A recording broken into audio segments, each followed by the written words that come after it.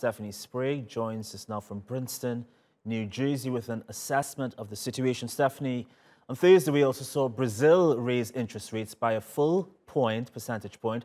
What are you seeing today, and is this all linked to what's happening in Ukraine? This this is partly linked to that. It's more than that, though. This has been a trend that has been building for the last year and a half or so with rising inflationary pressures, stresses on the supply chain, continued concerns that you're going to see higher prices and a higher cost of living for the average person in America and around the world. Now, the Federal Reserve made no secret earlier in the year it was going to have to reverse course and raise rates. Keep in mind, it was about two years ago that they took the move to slash rates by about 75 basis points in an emergency move.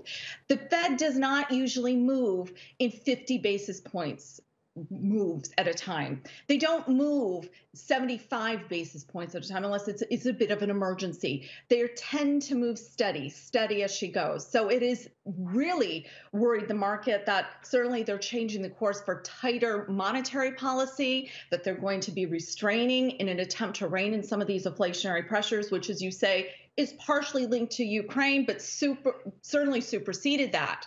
But they're concerned at the pace in which they're going. I mean, I've been watching the Fed for a while here for many years. They're very cautious.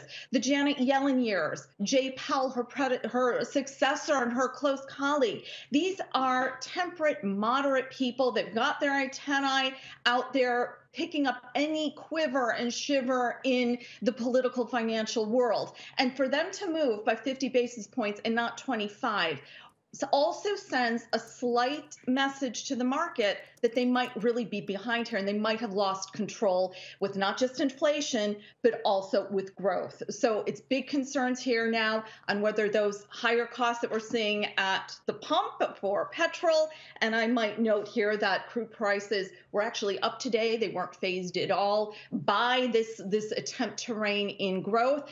And um, you are also seeing the fact that wages could be moving up as a result of this.